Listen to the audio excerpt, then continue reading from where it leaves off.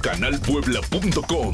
Y para ti, Capricornio, mi querido Capricornio, bueno, pues estabas malongo a veces de salud. Y acuérdate que el dinero y el amor no se pueden comprar. O no hay dinero que alcance para ese tipo de cosas.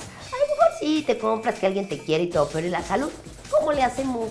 Si ahora es un gasto como un lujo y como cosas que no podemos, eh, ahora sí que permitirnos porque están en nuestra cabeza.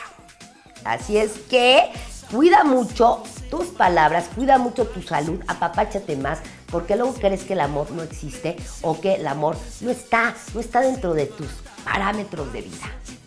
Entonces, aprender a que estás vivo, no te puedes enfermar porque te va a costar mucho y te va a pagar y te va a pegar en tus números. Así es que tú sabes si le entras a enfermarte, a intoxicarte y a tener vicios mentales. Entonces, cuídate en esta semana, a no estar de vicioso, a no estar complicado y menos enfermarte. Para ti me quedo Capricornio. canalpuebla.com.